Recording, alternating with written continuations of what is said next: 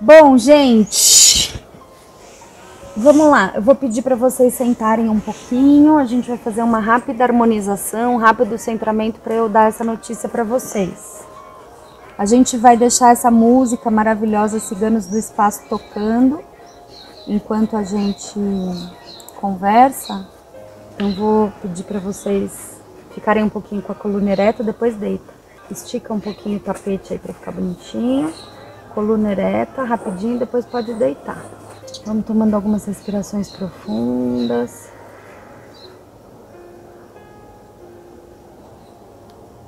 Descruzando os braços e pernas, deixando a coluna ereta. Bom, então minha família amada, Marcelo Paor, meu parceiro de vida, meu cigano maravilhoso, meus filhos amados, Gael, Theo e Miguel, que está sempre com a gente também, nesse espaço maravilhoso, nessa nossa primeira tenda cigana aqui no nosso jardim, nesse espaço, nessa casa, nesse terreno que tem nos acolhido nos últimos dois anos e meio, nesse espaço do vovô, da vovó e da família do papai que é esse espaço, esse terreno é a nossa primeira versão, a nossa primeira realização de um território que a gente regenerou, um terreno que a gente cuidou, que a gente amou, que a gente agradece por ter acolhido a gente nesses anos, que a gente deixou com o nosso jeitinho, a gente colocou aqui todo o nosso amor, toda a nossa realização. O que, que vocês acham? A gente está entregando o terreno melhor de quando a gente pegou, de quando a gente recebeu ele para morar aqui ou pior? O que, que vocês Melhor. acham? Hã? Melhor. Muito melhor, né? O que, que vocês acham, meninos? Melhor. E você, Gael?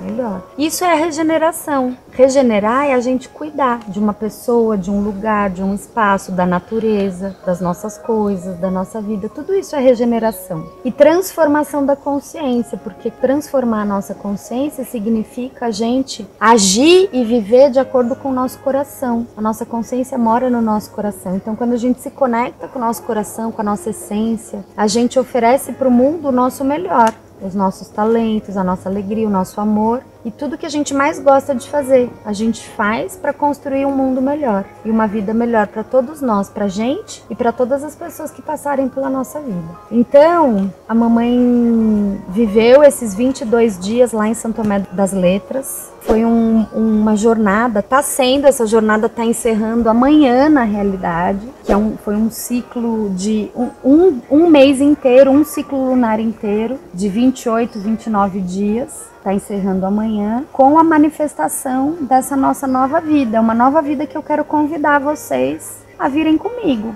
Quem quiser estar junto é bem-vindo. Quem não quiser ir fisicamente, mas quiser participar, à distância pode. Vocês são livres, nós todos somos livres. Então eu vou fazer um convite, vou apresentar para vocês o projeto, essa ideia, que é, na verdade, a manifestação da Impulso Eco. Essa consciência coletiva que nasceu de nós, nós quatro e depois nós cinco, quando teve o Miguel também. Nasceu da nossa família, do nosso amor, das nossas buscas. E vocês, Gael, Theo, Miguel, como nossos filhos, nossas crianças espiritualizadas, vocês vieram para a Terra já trazendo essas informações para gente. Por isso que a gente está conseguindo manifestar e realizar isso agora. 10 anos de vida do Gael, 7 anos de vida do Theo, um ano e meio quase de existência do Miguelzinho também, e 4 anos da Impulso Eco e 44 anos de vida da mamãe, e 50 anos de vida do papai. Então é a soma da nossa vida, das nossas experiências, de tudo que a gente viveu, inclusive das nossas dores, da gente ter perdido tudo, ter vendido nossa casa, ficado sem dinheiro, com todas as dificuldades que a gente passou, tudo que a gente passou e viveu, eu honro, eu agradeço, porque eu sei que foi tudo isso que trouxe a gente até aqui. Então eu agradeço vocês, Marcelo, meu amor, meu parceiro de vida, que me apoia incondicionalmente, mesmo quando todo mundo tá me achando louca.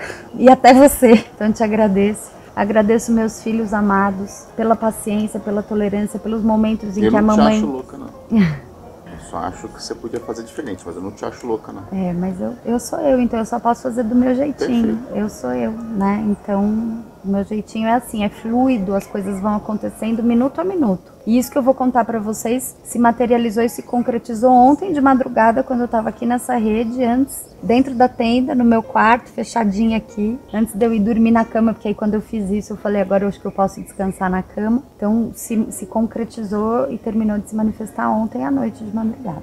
Então eu quero agradecer vocês, crianças, e, e pedir de, falar que eu sinto muito pela falta, pela falta que às vezes vocês sentiram da mamãe, quando a mamãe ficava madrugada dentro trabalhando a Impulso Eco nascendo, e a mamãe estruturando tudo, e o papai ajudando, e eu viajando, e indo para as viagens espirituais, Peru, Egito, e o papai ficando com vocês, e a gente sem dinheiro e todas as dificuldades, e às vezes a gente não sabendo lidar da melhor forma com vocês. Então eu agradeço vocês pela compreensão, pela paciência, pelo amor, e saibam que tudo que eu fiz e tudo que eu faço e tudo que eu farei na vida, quando eu estiver encarnado e quando eu estiver espiritualmente só, sempre vai ser pelo nosso bem e pelo bem de todos, pela consciência ecossistêmica, Cristo Sol, Madalena Lua em Gaia, que a gente ancorou em Gaia ao longo desse último ciclo lunar. Então vou esperar o Theo voltar para eu começar a contar a história mesmo.